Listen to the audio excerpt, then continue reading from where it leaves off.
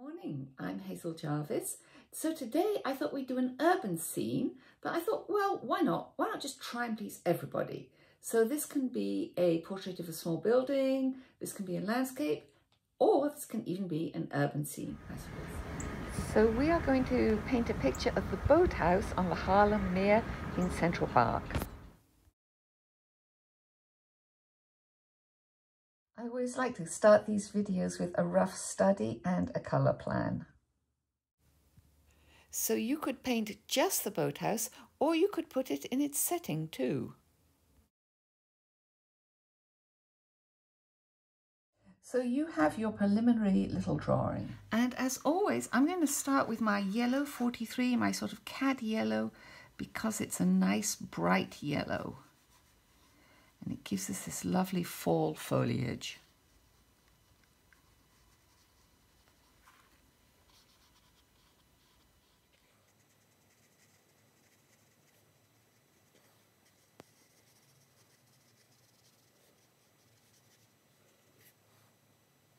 And we'll put just a little bit of that same yellow in for reflection in the water.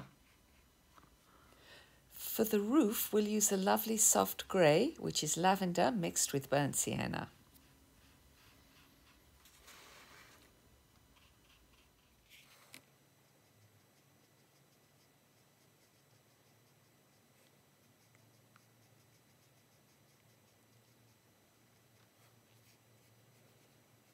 I mix up my bright yellow with some yellow ochre, 44, and some dull green, 54 and I'm just going to put in some darker foliage.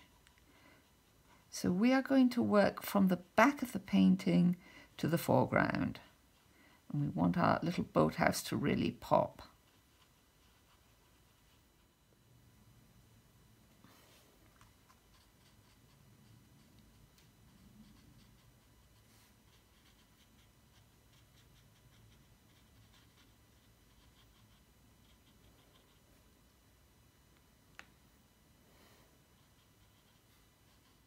And again, we can put some of this darker colour in as reflection in the water.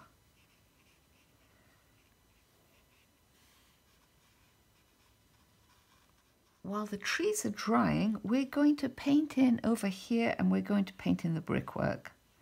So that's our burnt sienna 44, 46. And I'm just going to extend my stonework over here too.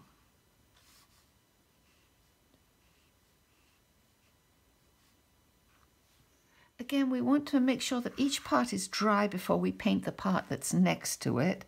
So I'm going to go in here and paint the red.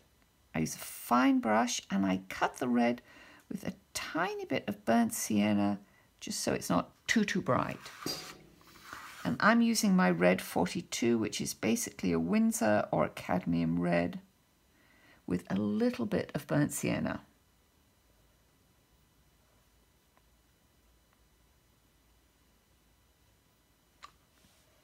There are a couple more touches of red here and there. There's some red up here. Some red over here. And a touch of red over here. So we'll just put in the windows up here in the tower while everything else dries. I'm going to mix up a pale minty green like so which is my mint green 50, my sort of mossy green 54, and a tiny touch of white. I tested out on my scrap paper. And now we're going to paint in this pale green area.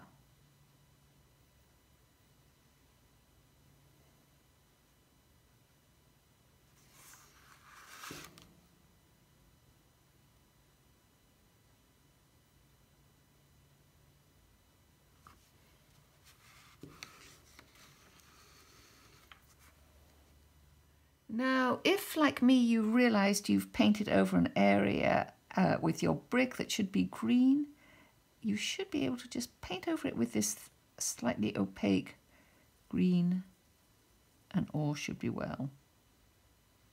A little bit of my 58, my darker green, and I'm going to paint the window in the tower. So I had a little bit of extra green, my 58, and I'm going to paint this interior space a slightly darker green.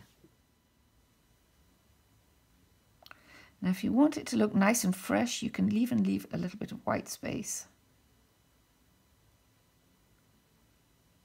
Go one more shade darker with our green by mixing in some indigo. We're going to paint in the beams and some of the decorative detail with this darker green and a nice sharp brush.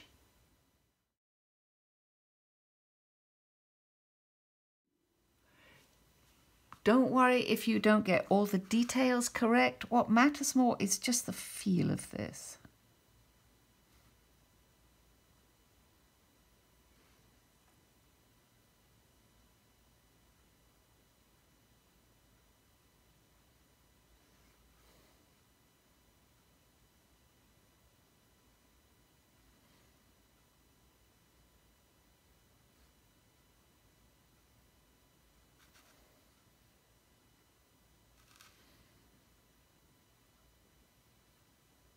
I'm just improvising because my red is a little too low. It's going to look like this. We'll add a few more details and we'll add some of the trellis work.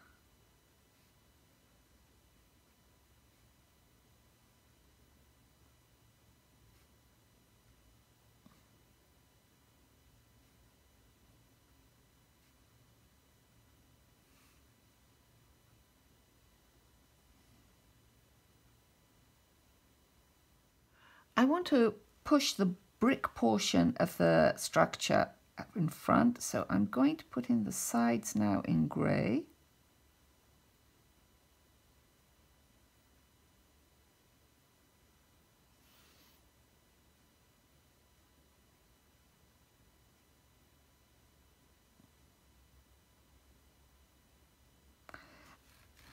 And here I'll go back and put in some more yellow foliage, I think.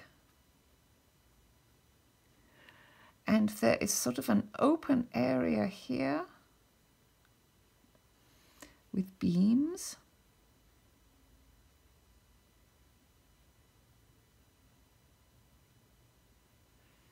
Mix up an off-white black for this round window and again just to keep things nice and fresh I like to leave a tiny bit of white space showing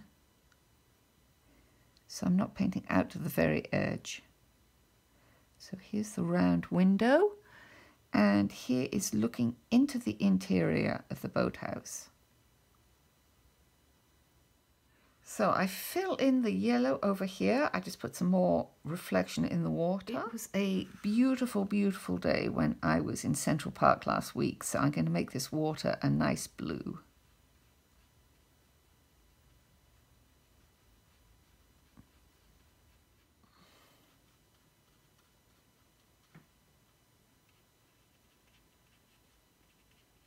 And finally, I'm just going to put a little bit of shadow in on the roof.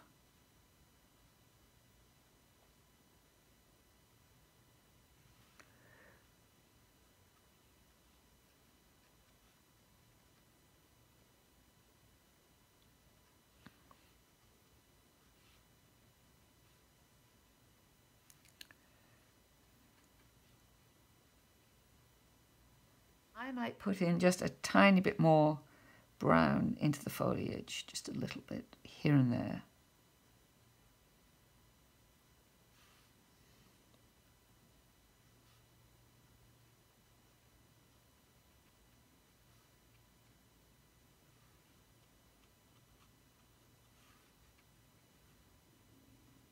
So I hope that this will help you when you're doing your mini house portraits, your mini urban scenes, and I hope you'll have fun and I can't wait to see what you do.